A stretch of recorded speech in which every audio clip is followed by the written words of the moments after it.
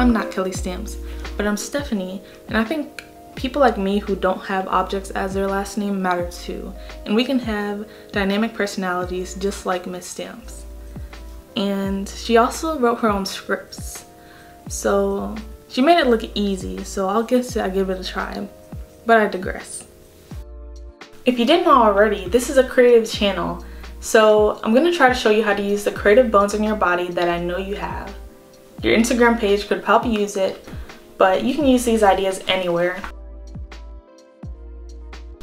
First, stop using presets for your photos. You know the ones on Google, right? Those are not your original photos and you're kind of plagiarizing. And they're basic.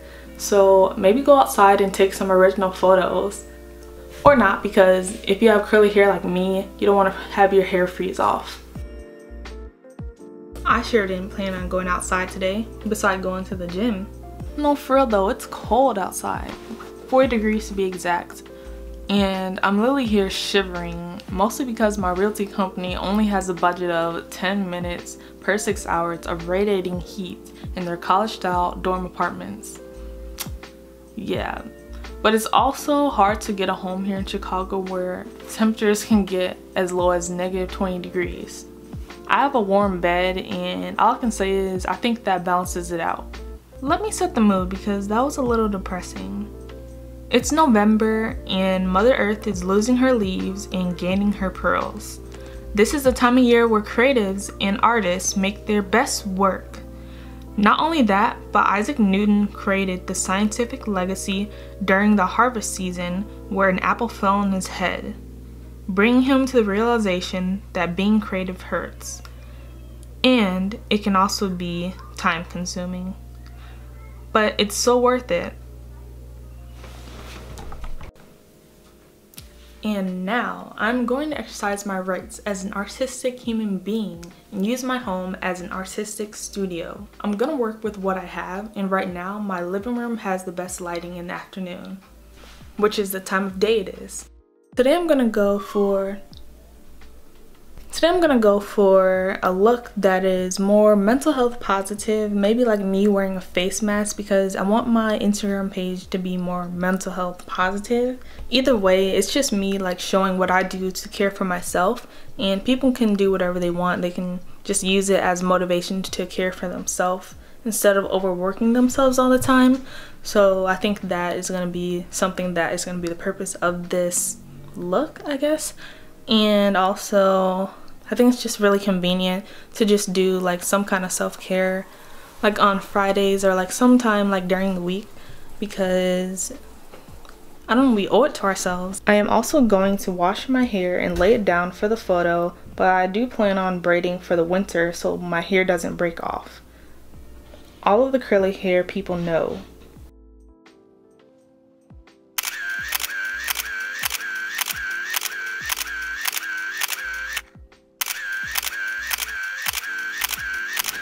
So I just put on this mask and it's starting to get really hard. So I'm going to try to take it off. I already took a lot of pictures that came out interesting. Like they're a little bit blurry and like I don't know how I feel about them but I might use them and I'm just happy that I spent some time today to like be creative and that is always a win. So now that we have the photos for Instagram, we're gonna spice things up um, by adding some cool illustrations to our collection of creative Instagram and Pinterest content. So I like to use Procreate for my illustrations because it's a flexible software and it's easy to work with. Literally anyone can work with it and it's also very helpful for creating animations or just using it to make like cute little drawings and animations and graphics. You can even make custom titles for YouTube in here. So today I feel like making a custom motivational quote for my Instagram page and I'm going to make it into the size of a square using this Procreate app on my iPad. And I'm going to choose the, where is it? Instagram square. And this square is something that I made that's exactly the size as an Instagram photo. And for with this I'm going to create a theme for my Instagram post. And I'm gonna use um, my own personal colors like purple, blue, and also like nude color because those are just my colors from my Instagram. I'm going to see what happens when I play around with these abstract details using those colors. And then I'll choose a quote from the Bible because that's my thing. So first I am going to choose one of my brushes. Right now I like using um, the monoline one. So that's in calligraphy. Monoline. Uh, I already made a color palette and I put all my colors in here. Like you can just kind of like use whatever colors right there and then drag it then you can like just tap it and then it'll be there. And you can also delete them by holding it and deleting it. So first I'm going to use purple. And I'm just going to like play around and just see what happens. But right now I'm really just liking, oops, I'm liking some of these like squiggles and just having a little bit of fun dragging and dropping and seeing what's happening. So yeah, I'm just gonna like play around and see what I like.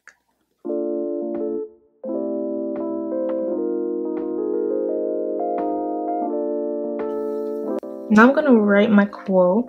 I have it right here and it says, it says, stand firm and you will win life.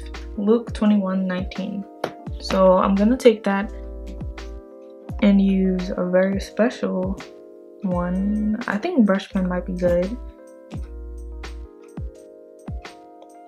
So yeah, I'm gonna take my pen and I'm gonna go in with some white and use the brush pen technique of light up and hard down. So let's see how this goes.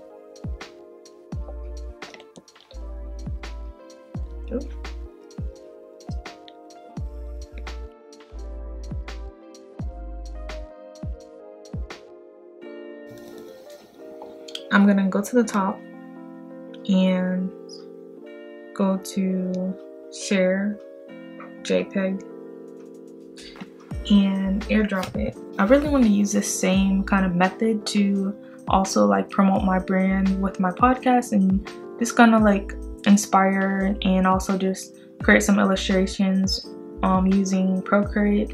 How can you be creative when you aren't organized? Try something new and start bullet journal. It's so helpful and it really beats printed planners. You can customize it any way you want and create your own theme for each month. So on the left, here is um, my quote for the month. You can get it from wherever you want. And on the right is the title page for the month. And I have like little um, doodles around it for the theme. This theme is kind of just like fall vibes. And on the next page, this is where you can put like the uh, monthly planner. So you put like the title, uh, which is like the month, and then uh, you have the days of the month.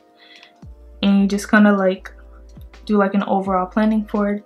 Um, these squares are six by six, I believe. And this is in a bullet journal. I just put like the days at the top and I start on Monday and on Sunday for some reason because I like it that way. And I just track like just random things like maybe like my income goals and just like I also allow like um whatever is left over of the month I like putting like my goals on the right on the next page there you'll have the mood and habit trackers uh, you can get really creative with this. You can find inspiration from Pinterest. On the next page, you can have your monthly tasks. Um, I like to separate them into different areas of my life. I have one for school, work, and social media. So like I just put like my month goals for each area. On the right side, it's kind of optional, but I like um, putting my podcast for the month. And then after that, you kind of just go into your daily plannings. So this is like where all your to-do list go for the days. This is probably where you'll mostly be using it and just like keeping track of like what you have to do for the day. You can just write out your to-do list and just check them off and you can also make like little bullet notes for just like things to keep in mind. After that, um, if you're a content creator, I would highly suggest you create like a content plan and this side is where I'm actually doing the work to generate that content and um, yeah and also just like what kind of work and other things I have to be doing on each day. And then towards the end of the month, I always like to have a reflection area to just reflect on things I did good, where I can do better, things I need to do less, things I need to do more, what I'm excited for, and what I'm uh, worried about. Then it's kind of like a bonus page, but I like to put like brainstorming towards the end. Bullet journaling has really changed how I think about just like organizing my life and it's also curated personally for how I want it to look and I really just like using all of these different strategies to stay creative and stay hopeful during these times and I really hope that you found something that you want to use for yourself and if you did make sure you give this video a like and also subscribe for more videos. And hopefully in the next video I'll be showing how I plan out my month for November. And yeah make sure you stay tuned for that. Make sure you stay creative and keep on scribbling